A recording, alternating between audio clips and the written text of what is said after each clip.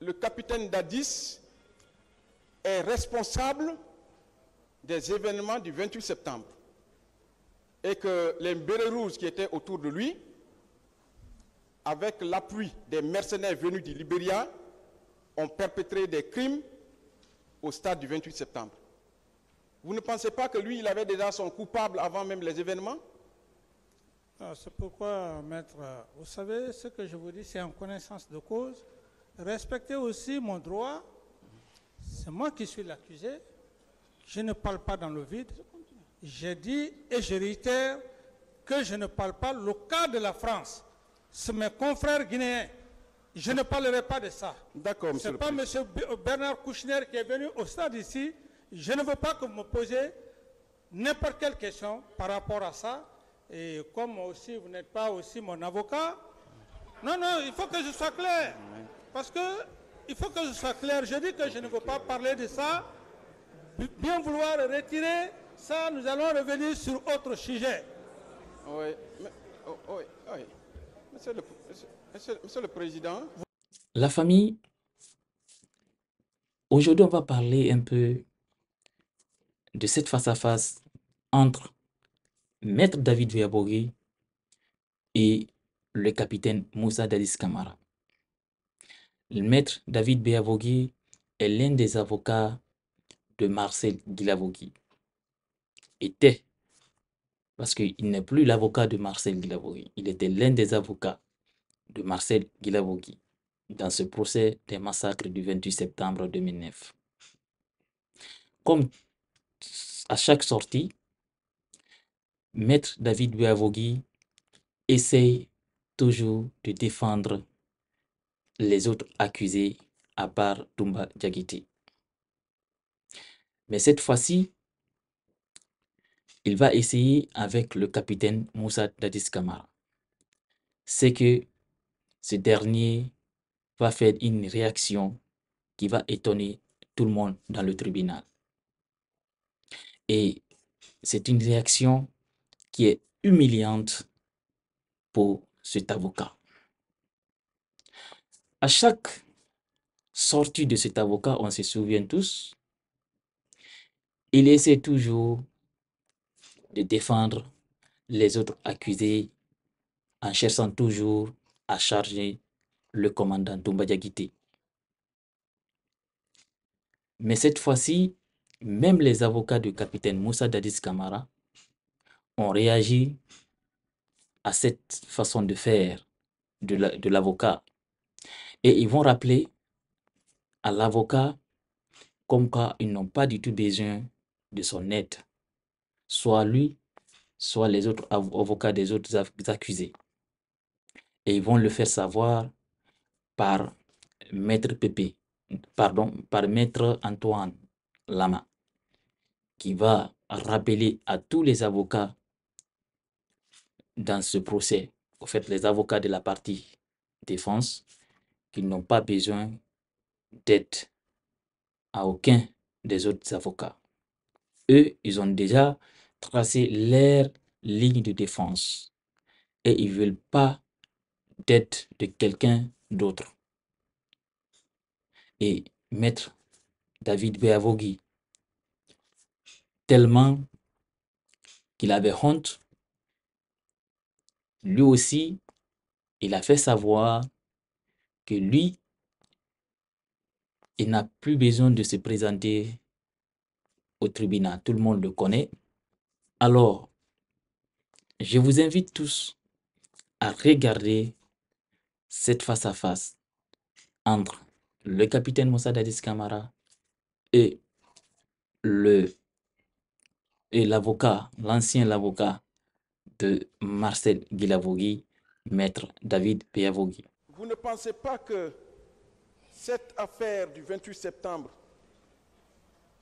parce que quand vous parliez de politique, on remis le dossier, oui ou non? Oui, maître. Vous ne pensez pas que cette affaire du 28 septembre était devenue une sorte de chantage? Non seulement une forme de chantage, mais aussi euh, une forme de, de euh, quelle expression vais-je donner de, de me rendre comme un attribut, un sujet.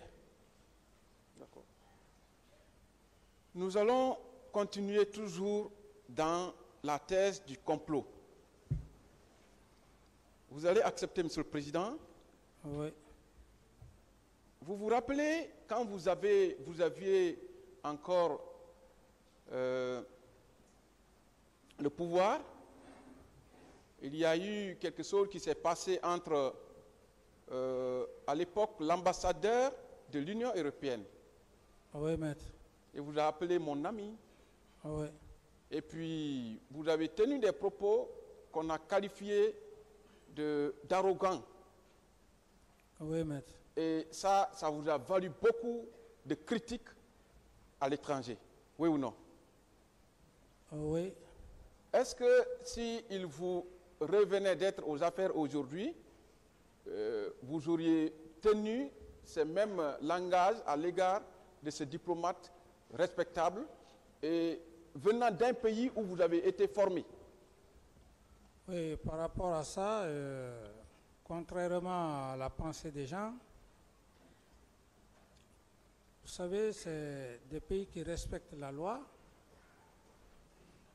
Et ça ne m'a- ça ne m'a pas coûté comme les gens l'ont imaginé. D'accord.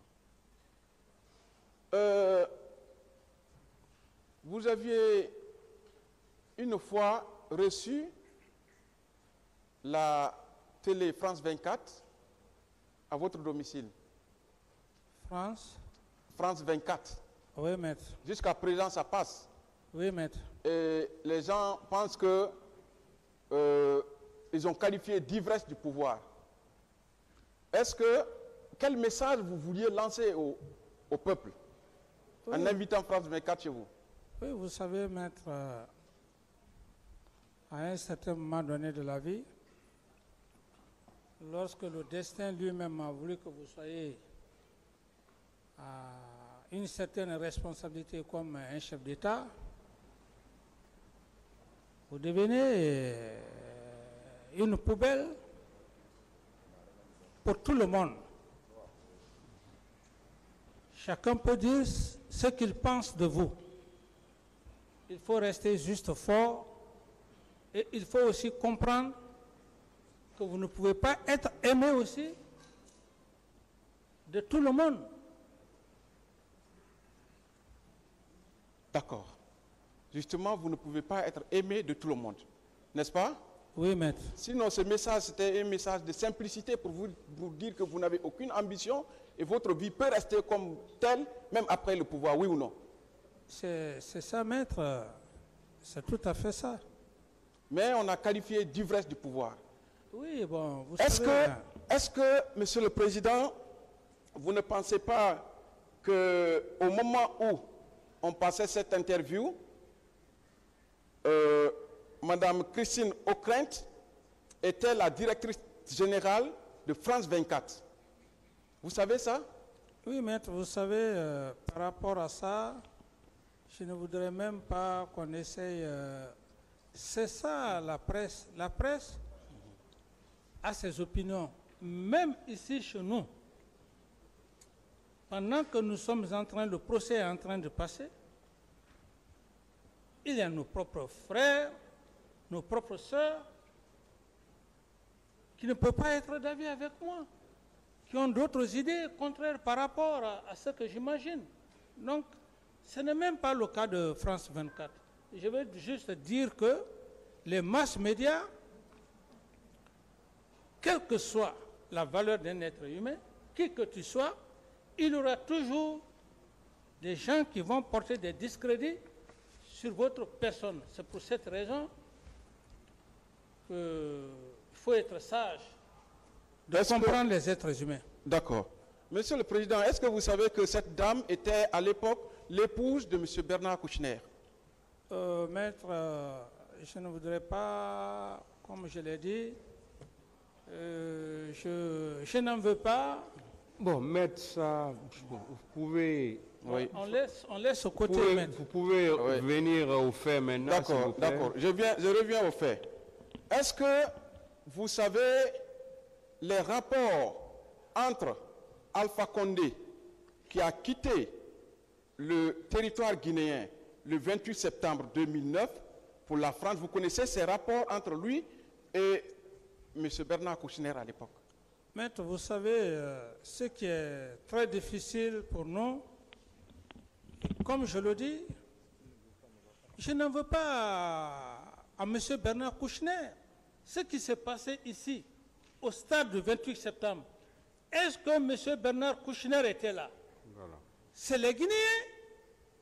Donc il faudrait connaître cet esprit-là. C'est pour cette raison, je ne parlerai pas de M. Kouchner, je parle de mes frères. Maître, D'accord. Alors, Monsieur le Président du tribunal, avec votre permission. Oui, j'ai des pièces. D'Addis, euh, ce jour du 28 septembre, le président Alpha Condé avait quitté le pays pour euh, une destination inconnue. Euh, vous avez lu, il y a un rapport que j'ai communiqué, qui est avec le tribunal et les autres parties. C'est un rapport d'un journaliste. Le journaliste euh, euh, s'appelle, euh, avant la lecture,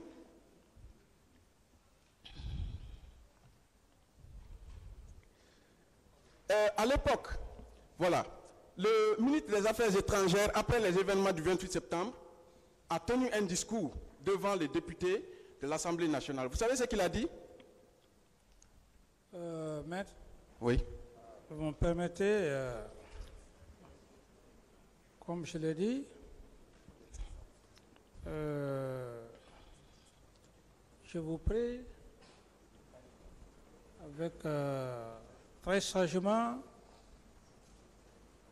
de retirer tous ces documents, parce que je ne parlerai pas de ça. Mon problème ici, le complot ou quoi, ce n'est pas entre moi et Bernard, le ministre des l'ex-ministre des Affaires. Monsieur Camara, Euh, s'il vous plaît, Donc je ne répondrai pas à cette répondez question. aux questions qu'on vous pose. S'il vous plaît. Allez-y, maître. Voilà. Il a dit ceci, que le capitaine Dadis est responsable des événements du 28 septembre et que les bérets rouges qui étaient autour de lui, avec l'appui des mercenaires venus du Libéria, ont perpétré des crimes au stade du 28 septembre. Vous ne pensez pas que lui, il avait déjà son coupable avant même les événements? C'est pourquoi, maître, vous savez, ce que je vous dis, c'est en connaissance de cause. Respectez aussi mon droit. C'est moi qui suis l'accusé. Je ne parle pas dans le vide. J'ai dit et je réitère que je ne parle pas le cas de la France. C'est mes confrères guinéens. Je ne parlerai pas de ça. D'accord, Ce monsieur n'est le pas Président. M. Bernard Kouchner qui est venu au stade ici. Je ne veux pas que vous me posiez n'importe quelle question par rapport à ça. Et comme aussi vous n'êtes pas aussi mon avocat, non, non, il faut que je sois clair. Parce que il faut que je sois clair. Je dis que je ne veux pas parler de ça. Bien vouloir retirer ça, nous allons revenir sur autre sujet. Oui, mais- oh, oui, oui. Monsieur le, monsieur- monsieur- monsieur le Président, Vous me consultez, vous pouvez... vous me consultez, Maître PK, asseyez-vous, s'il vous plaît. vous me consultez? Avant tout. S'il vous plaît, Monsieur Camara, une fois de plus. Ça, on ne va pas vous le dire à tout moment. On ne peut pas le faire. Il faut que vous compreniez. Vous connaissez vos droits. On vous a dit, on va vous poser des questions. On va vous poser des questions. Vous ne pouvez pas dire ici qu'on ne peut pas vous poser sur- des questions sur un sujet. Bien noté, Monsieur le S'il y a un sujet sur lequel on ne peut pas vous poser des questions, le tribunal même sera là pour retirer ces questions. Merci, Monsieur le Président. Mais s'il vous plaît, une fois de plus, Merci, Monsieur le Président. C'est bien noté. Bien compris, Monsieur le Président. je vous ai dit vos droits. Vous connaissez maintenant vos droits parce que c'est la énième fois hein, que vous que vous venez à cette barre. Allez-y, maître. Voilà. Euh, Oui. vous ne pensez pas Oui, que attendez. Oui. les propos-. S'il vous plaît, attendez. Très rapidement, Monsieur le Président, euh, comprenez un peu la réaction du capitaine Moussa Dadis et la défense, en tout cas que je représente ici, voudrait prier les chers confrères que le capitaine Moussa Dadis a des avocats qu'il a constitués pour assurer sa défense. S'ils ont des questions en lien avec leurs clients, qu'ils les posent. Mais on ne demande pas l'appui de quelque confrère qu'il soit pour appuyer notre défense. Nous préparons notre défense en entretien intime avec notre client et nous voudrions qu'on respecte notre ligne de défense, qu'on ne vienne pas faire des choses qui vont à l'antipode de notre ligne, que chacun défende son client. Je vous remercie. Vous savez, euh, il y, a des- mises au point que le tribunal ne peut pas faire. Parce qu'il ne faut pas qu'on dise que le tribunal est en train de donner des cours de déontologie au conseil. Voilà. Donc c'est pourquoi il y a des choses que le tribunal ne peut pas arrêter. hein. Quand un conseil prend la parole pour poser ces questions, le tribunal estime qu'il sait ce qu'il doit faire. C'est ce que le tribunal estime, hein, que le conseil sait ce qu'il doit faire. Donc c'est pourquoi il y a des trucs qu'on ne fait pas, on n'arrête pas seulement s'il y a des questions qui ne méritent pas d'être posées, on les retire. Estimant que chacun sait ici ce qu'il doit faire. Allez-y. Merci, merci, Monsieur le Président. Nous sommes professionnels. Je précise que je n'ai plus, moi, à me présenter au tribunal et à l'opinion que je suis le conseil de Marcel. Des questions. Voilà. Marcel a été accusé d'être au stade du 28 septembre. Des questions, maître. Monsieur le Président, par, par rapport à ce qu'il a dit, si donc j'ai des éléments pouvant prouver qu'effectivement c'est d'autres C'est personnes... pas, c'est pas à vous, il s'est adressé. D'accord. Donc je vais par rapport aux questions. Monsieur le Président Dadis, vous m'excusez, vous pouvez dire non, vous n'avez pas de réponse, ou bien oui ou par non. Pardon. Mais laissez-moi vous les poser.